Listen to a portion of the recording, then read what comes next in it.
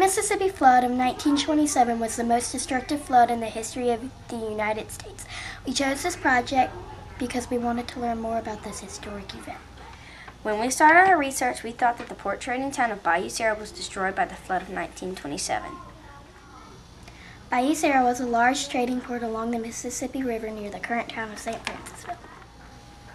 During our research, we learned that little was left of Bayou Sara. Most of the settlers had moved uphill to the town of St. Francisville. One such flood, the flood of 1912, almost wiped out the trading port of Bayou Sara. The few residents that remained were forced to leave the town after the flood of 1927 destroyed their homes once again. Today, nothing remains of the once critical trading port of Bayou Sara. The flood of 1927 was a critical point in the history of the United States as well as in St. Francisville. Here is Professor Craig Colten from the Louisiana State University to tell us a little more about the flood of 1927. That year, there was a lot of snow that fell up in the north during the winter. And the real reason we have big floods here on the Mississippi behind me is when the snow melts almost all at the same time and you have at the same time heavy spring rain. So you have rain falling on snow, which melts and then it slides down into all the rivers in the Ohio Valley and the upper, upper Illinois River and the Missouri River and the Arkansas River. And that comes charging down the Mississippi. When that happens, when all those things happen at the same time, this river can rise and rise and rise. It's really high right now. And you can see behind me, these trees in the river have their, their bases underwater. The river in 1927 rose to record heights. It had never risen that high. And one of the most interesting things about that flood that year was in 1926, the year before, the group that was responsible for building levees to keep floodwaters out of the cities and the communities all up and down the river said, we have a levee system that is complete, it's ready to handle any flood the river throws at us they miscalculated because they didn't realize how big the flood the very next year would be. So you had the Mississippi River rising and rising, and you saw floods rising in, in St. Louis, then down to, to New Madrid, then down to Memphis, and, and then down across Mississippi. And in Mississippi, the levees started popping left and right. On the, on the west bank in Arkansas and in the east bank in Mississippi, the levees were bursting and flooding the great cotton fields of the, of the Mississippi Delta uh, along the, uh, up in, in the Yazoo River Basin. People had to flee their homes and there were hundreds and thousands of people living on top of the levees. It was the only safe ground. They have pictures of cattle and people crowding onto the levee in, in, in just despicable conditions. They had very little food, they had very little uh, coverage, they didn't have houses, they, they abandoned their houses. They didn't have extra clothes. They were just miserable. And it was springtime. It was a little bit cooler than right now. But they had to live huddled in those, those on those levees for weeks and weeks and weeks. We learned from Professor Colten that when the federal government did provide resources, they weren't divided equally. When the floods were bursting upriver in Mississippi, people here in Louisiana knew that they were going to see the rivers flood. Day by day, the river got higher and higher. Flood crested the highest water came and passed Vicksburg and past Natchez, Mississippi. Natchez sits on a big high bluff, so it didn't flood there. But on the west bank in Louisiana, near Ferriday, the levees were popping and the river was flooding the agricultural land. The newspaper had accounts that the floods were coming. The big concern was New Orleans, the biggest city in the Mississippi Valley by far. The city was built on a floodplain behind levees. There was a great debate. What do we do to protect New Orleans and keep it safe? The people of New Orleans convinced the president to send the Army Corps of, Engineer, of Engineers, the people who built the levee, to take dynamite and blow a hole in the levee just downstream from New Orleans. The theory was if you blow a hole in the levee below New Orleans, the water will flow faster by New Orleans because it will suddenly have two mouths.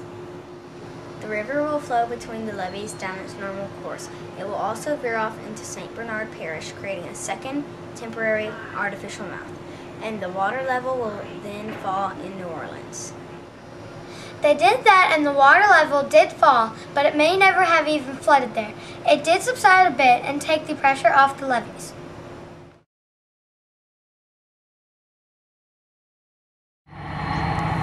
it's really funny because rainfall, much of it fell up in the north after there'd been a heavy snowpack that year. And I'm not sure of the rainfall totals, but the, the combined rain and snow was substantial. And they did have serious uh, river flooding in the Ohio River Basin. Down here that spring we had some flooding, some heavy rains in New Orleans, but that didn't affect the flooding here. Any rain that falls south of Bayou Sara, south of St. Francisville really, flows away from the Mississippi River. Rainfall here in, in South Louisiana doesn't even enter the Mississippi unless it falls directly from the heavens into the river. Uh, so it, a little bit, but not enough to cause flooding. The flooding was due to rainfall and snowfall, and mainly in the Ohio and, and upper Mississippi River Basin, to a lesser extent in the Missouri River Basin.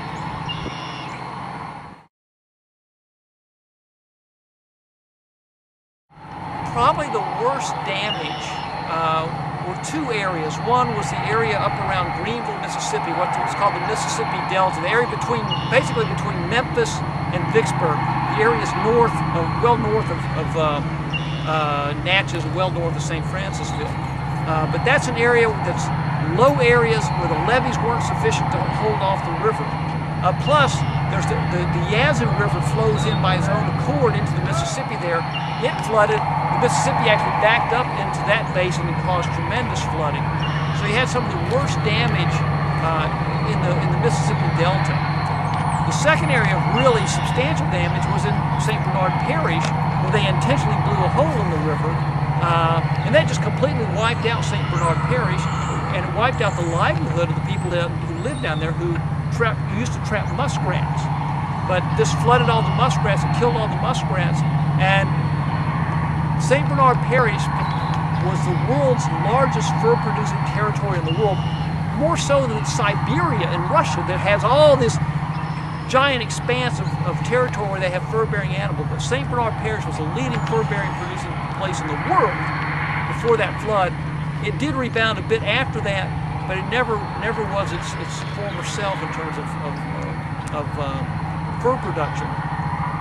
Men that doesn't and when those i say those are to the two worst areas that says nothing about the many many other places um, right near st francisville with bayou many small communities suffered tremendously but they weren't larger areas like the st bernard parish in the mississippi delta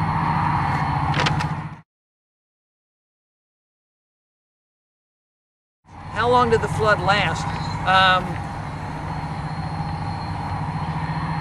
depends on where you were in the river. Early April, it started coming down, and it, for at least a month, it was in transit from areas up north in Illinois and Ohio and Kentucky and those areas, and then you get, by the time it all had kind of disgorged into the, uh, into the Gulf of Mexico, a month and a half or so. Individual places like the Mississippi Delta probably saw water for two to three weeks, at really, really high levels. So any given location saw the most intense flooding for a matter of weeks, but the whole thing took a few months actually to move from the north into the Gulf of Mexico.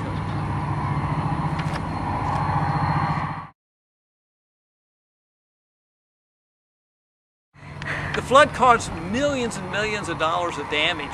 Um, and there are many different ways you can look at flood damage. It, it uh, flooded crops, so hundreds of thousands of acres of farmland produced no crops that year. Um, at least 400 people died. There's really no good accurate number of fatalities because some people simply weren't counted. Um, hundreds and hundreds of, well, thousands of homes were destroyed. Uh, so the damage was massive, uh, and and it might pale in comparison to the dollar amount of damage we saw from Katrina, but the real damage to individuals and families and farmland was probably greater because of the area of the, of the, of the flooding.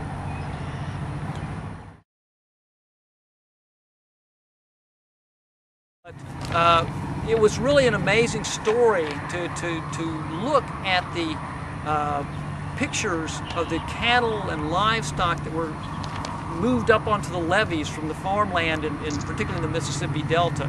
Thousands and thousands of head of cattle and horses and other livestock had to seek refuge. And that really complicated the, the situation. We had a, a narrow levee and people and livestock both living on it created sanitation problems uh, and just basic crowding problems. So the animals were a real critical issue, more so with livestock, farm animals, than with pets.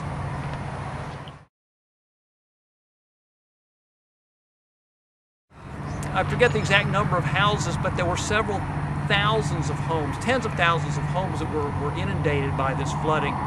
Much of the worst flooding was in either small towns in Mississippi or rural areas. So you didn't see a major urban area like New Orleans flooded. Even when they blew the levees in, in St. Bernard Parish, there you had thousands of homes instead of hundreds of thousands of homes like you would have in a big city. So the fact that it was mainly rural and small town uh, prevented more houses from being damaged.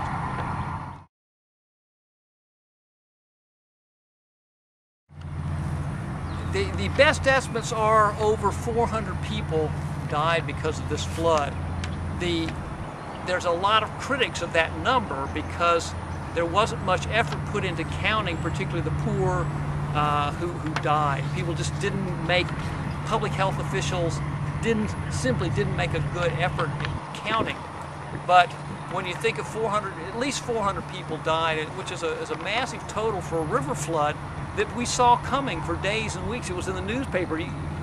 A river flood on the Mississippi doesn't happen just because of a downpour and a, flash flood that comes up overnight.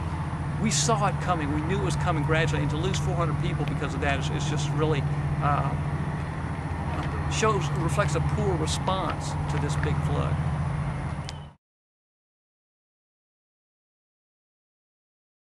Well, one of the biggest one of the biggest things that, that, came out of this is is with that flood, with the massive loss of, of life, the massive damage, um, the Corps of Engineers basically rewrote their manual on how to build levees and what height to build them to.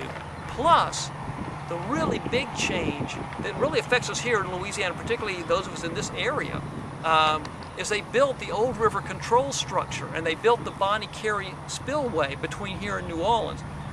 They abandoned an approach we refer to as levees only. Before 1927, they wanted to fight floods with levees and only with levees. So we call it levees only. If you build levees tall enough and high enough and strong enough, you can keep all floods out. Well, that proved incorrect. The flood of 27 knocked down levees all up and down the river basin. Uh, and the Corps of Engineers said, wait a minute, we need to find another way to protect places particularly and more important than any other place in the valley, New Orleans, which was the big commercial port. Uh, so they said we need to have outlets and levees. And an outlet is the Bonnet Carré spillway where we can open gates and divert part of the water into Lake Pontchartrain, much like they did when they blew the hole in the levee artificially in St. Bernard Parish. They decided they'd build permanent fixed structures to serve as outlets so they didn't have to have the emergency of, of dynamiting and the uncontrolled circumstances of dynamiting the levee. So they created the Bonnet Carré spillway and then the even bigger Atchafalaya Basin floodway. If you drive from here to Lafayette and you go up over the levee and you're up on the elevated highway for 20 miles, when there's a really major flood, the Corps of Engineers can divert water down the Atchafalaya and prevent the river from getting too high south of Baton Rouge, getting too high at New Orleans. So they can create two outlets, the, the Atchafalaya Basin spillway and the Bonnet Carré, which is smaller. They've used the Bonnet Carré eight or nine times since they opened it in the 1930s, and they've used the uh, Atchafalaya only once, back in 1973. In 1973, I used to go down and stand on the levees down near LSU, and the water was about a foot and a half from the top of the levee. It was that high for about a month. The levees were so saturated with the water you could bounce on them. It was like jello. It was just amazing. And that's the only time they ever opened up the Atchafalaya Basin spillway because it was such uh, a threat to the levees. And, and by building these spillways, they did affect a change that will really, really will provide better protection than just levees. So the flood of 27 prompted them to do that. In May of 2011, the waters began to rise once again along the Mississippi floodplain. Although water levels reached heights that were comparable to the flood of 1927, the damage was considerably less severe. The levee and spillway system proved successful. On May 14, 2011, the Army Corps of Engineers began to partially open the Morganza Spillway for the second time in its history. The water was diverted from the Mississippi River to the Atchafalaya Basin, thereby flooding the plain. This, however, allowed them to protect levees and prevent major flooding in the metropolitan areas of Baton Rouge and New Orleans. Thank you.